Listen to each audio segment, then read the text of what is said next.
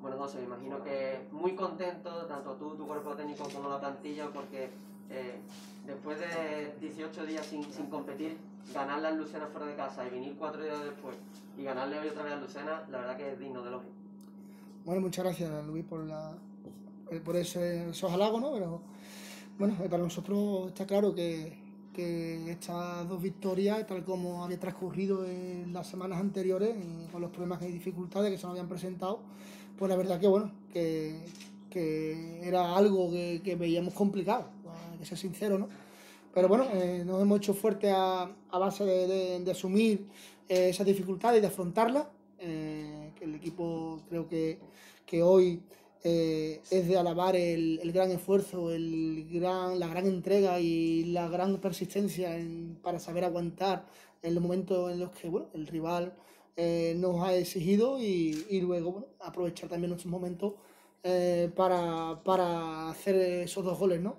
Al final, bueno, eh, es algo que hubiésemos firmado en cualquier momento porque estas dos victorias pues, bueno, nos dan eh, ese pasito importante para, para, bueno, para colocarnos bastante bien en la clasificación y afrontar los tres partidos que, que quedan con, bueno, con, con, mucha positividad, mucho optimismo y, bueno, y con los pies en el suelo como siempre. Nada tiene que ver Lucena que, que ha jugado hoy aquí en Chapín con el del otro día el miércoles. No sé si a usted le ha parecido igual. Sí, sabíamos que ellos tenían que, que arriesgar, que tenían que ir por, lo, por, lo, por la victoria. Sabíamos que es un gran equipo, sabemos que estamos en un grupo, una fase de ascenso en la cual lo, lo, los seis equipos que estamos, cualquiera mm, puede ganar a cualquiera y que hoy pues ellos van a tener su momento, porque es un gran equipo, eh, también ellos pues eh, tienen buenos jugadores y bueno, en un campo como el nuestro está claro que un equipo que pro, con esa pro, propuesta pues les viene bien, ¿no? Y sabemos que vamos a tener momentos de sufrimiento. Que así ha sido, ¿no? Sobre todo la primera parte, creo que ha sido más del Lucena que, que nuestra es verdad que empezamos bien, pero poco a poco nos fueron, nos fueron comiendo terreno y, y, no nos encontrábamos y bueno, y al final pues es verdad que hemos sufrido, pero hemos sabido aguantar ese envite y ese, ese, ese juego del rival. Y la segunda parte, bueno, buscar un juego más práctico porque físicamente estábamos bastante mermados y creo que también además con los cambios, pues bueno, los cambios nos ha dado ese, ese plus eh, que hoy creo que han sido muy importantes para conseguir la victoria. ¿Qué es lo que ha cambiado, viste, en el descanso? Porque bien dices que la primera parte quizás ha sido más para, para el Ciudad de Lucena, la segunda parte ha sido eh, un guion totalmente diferente en el partido. ¿Qué les has dicho a los futbolistas en el descanso? Porque han salido incluso con otra actitud, ¿no? Con otro, incluso como, como con más fuerza las piernas, incluso la segunda parte. Bueno, una de las claves está claro que es la entrada de Bruno. Eh, Antonio Jesús había jugado 90 minutos en, en, Lucena, en, en Lucena y estaba bastante cansado y nos faltaba frescura en medio campo. Eh, Bruno nos ha dado un plus tremendo en, en cuanto a, a, un aire fresco y energía y, y, saber estar, porque es un jugador experimentado y ese plus lo necesitábamos para la segunda parte. Eh, queríamos que, que, los jugadores frescos estuvieran más para esos últimos minutos o para esos momentos finales y después creo bueno la practicidad que hemos comentado en la segunda en el descanso para, para llegar con más eh, sen sencillez al campo rival y a partir de segunda jugada intentar provocar acciones de gol que al final así prácticamente ha venido el 1-0, ¿no? Con un ataque directo, intentando buscar el fallo del rival o la segunda jugada que nos diera opción a centro o finalización. Eh, era un partido que se había puesto para nosotros, no podíamos dar, darle pie a tantas transiciones por el desgaste que ya veníamos de Lucena y por todo lo mermado que veníamos, por, la, por el tema del brote. Entonces lo que hemos intentado es eso, que los esfuerzos se comprimieran en, en una sola parte del campo y esa parte del campo decidimos que fuera en, en el campo rival y ahí puede hacerlo más intenso, pero que las distancias fueran más cortas. José, yo sé que no os dais cuenta, porque lo dijiste el otro día, yo sé que vosotros estáis centrados en el partido a partido, pero el miércoles se puede dar una, uno, se da una opción de que si ganáis en un partido muy difícil, se puede conseguir ascenso matemáticamente. Lo digo porque se gane o no, el partido en la previa va a ser el partido más importante de la historia de este club, porque puede ser el día más importante de la historia de este club y un día muy, muy, muy importante para, para la ciudad porque se puede dar un ascenso. O sea, se gane o no, el día en la prueba va a ser hoy se puede conseguir el ascenso, va a estar esa posibilidad. Yo no sé, no, no haciendo cuentas, si ese día o de aquí al miércoles ya al, equipo le pueden entrar los pelos de punta, le pueden entrar yendo cosas por el cuerpo, de decir, hoy estamos ante un día muy, muy importante para nosotros.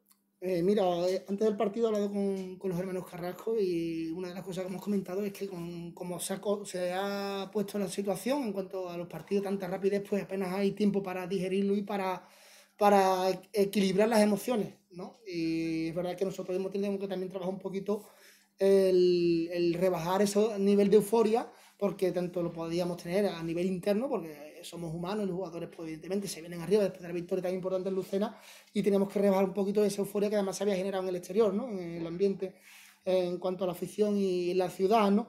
Eh, y esto pues hace lo mismo, ¿no? esta situación ahora de que al, próximo partido eh, hay que tener ese equilibrio emocional de, de, saber estar, porque es verdad que esta victoria quizás nos ha dado la oportunidad de, tener tres, tres, bolas de partido, ¿no? O tres más bol, como se dice, para conseguir el objetivo.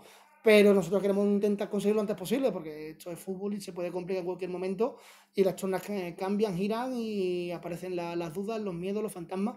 Y nosotros, para nosotros, eh, está claro que el partido a partido está basado en eso, ¿no? En que no, no vamos más allá de hacer cuentas ni coeficientes, porque al final eh, el resumen está claro, que tenemos que ganar el mayor número de partidos posible y lo antes posible para conseguir el objetivo que todos queremos. Y si hoy la afición ha sido una caldera y ha sido una bombonera, ¿qué, ¿qué, le pides, si se le puede pedir algo más a la afición para el miércoles? Porque el partido va a ser muy complicado y como decimos, está esa posibilidad.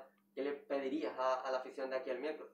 Bueno, pues, pues que puede ser el último partido en casa, que así lo sea, porque sería una buena señal y que bueno, y que, pues, que el último empuje pues lo, lo dé con nosotros porque la verdad que lo vamos a necesitar, porque venimos con dos, de dos partidos con un gran esfuerzo, porque el Océano así nos ha exigido, como he dicho antes, y va a venir un rival de una gran calidad, que además viene fresco también, que viene de descansar y, y hoy ya hemos visto que la primera parte nos ha costado tener esa energía y brillo que el equipo muestra en muchas ocasiones y es porque, bueno, porque llega mermado de tanto del brote como de, del, del esfuerzo que hicimos en Lucena, que fue muy grande.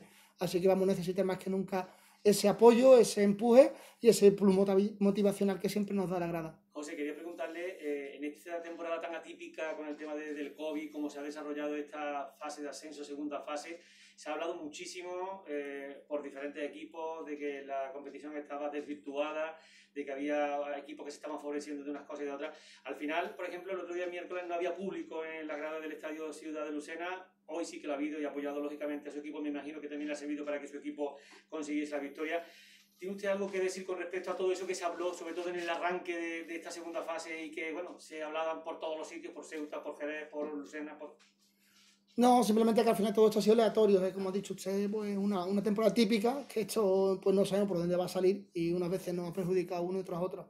A nosotros se nos achacaba que esto lo hacíamos porque nos iba a beneficiar, porque sabíamos que los demás resultados y después hemos visto que... También que, ha sido de igual. Exactamente, entonces lo que quiero decir que al final esto lo que hubiésemos deseado es que nadie hubiese caído enfermo, porque nosotros lo hemos pasado bastante mal y nos está todavía afectando a parte de nuestra familia eh, a, a, mí personalmente me está afectando todavía eh, a nivel eh, familiar y lo estamos sufriendo y nosotros hubiésemos cambiado por cualquier equipo que no lo haya pasado, ¿no? Eh, creo que lo, lo, fundamental aquí es la salud y que, bueno, que haya casos de, de COVID no, no, da pie a que, bueno, que nadie podamos pensar que es de manera intencionada para provocar una situación favorable. Así que, bueno, esperemos que no ocurra más, que podamos terminar la competición lo antes posible, que podamos jugar todos los partidos y que al final eh, esto eh, causa beneficio y perjuicio a todas las partes. Eh, José, dentro de que en este grupo, en este Jerez, siempre prevalece ¿no? el, el grupo antes que individualidades, eh, al final del partido has quitado a Mayor y luego a Curro y la grada los ha ovacionado porque creo que han sido los dos mejores del partido. Mayor por lo que ha hecho arriba y Curro por lo que ha hecho en el centro del campo y atrás. Eh, te pregunto, mm, a Mayor con 37 años creo que tiene, ¿qué le, ¿qué le dais de comer para que se haga la jugada del segundo gol? Y lo de Curro, mmm, imagino que también eh, mérito tuyo porque tú le diste la oportunidad de jugar en la, titularidad y al final te está respondiendo de esa manera. ¿no? Bueno, el mérito siempre son de ellos, porque son los que están en el campo y los que se dejan eh, todo, eh, toda la energía, toda la fuerza y toda la entrega, ¿no? Yo creo que al final es una muestra de, sentimiento. Yo creo que la afición es verdad que le gusta ver buenos jugadores, le gusta ver jugadores técnicos, de calidad, de talento, pero lo que más emociona son los sentimientos. Y cuando los jugadores transmiten emociones con su entrega, con su lucha, con su desgaste, con su constancia, y en eso son ejemplos, pues en el caso de Curro, tanto como de Mayo, como otros tantos, yo creo que nosotros esta temporada, eh, si una característica estamos teniendo positiva, es que esa seña de identidad en cuanto a intentarlo hasta el final y de luchar cada balón como si fuera el último, eh, creo que bueno que al final cualquier, cualquier espectador con eso se emociona porque se siente identificado. Y esa seña de identidad es la que intentamos, pues bueno, nunca, nunca fallar, ¿no? Nunca ser eh, contrarios a eso porque al final es lo que nos ha traído a esta situación que estamos viendo hoy, esta oportunidad que se nos presenta para conseguir bueno, pues dar un paso definitivo lo antes posible.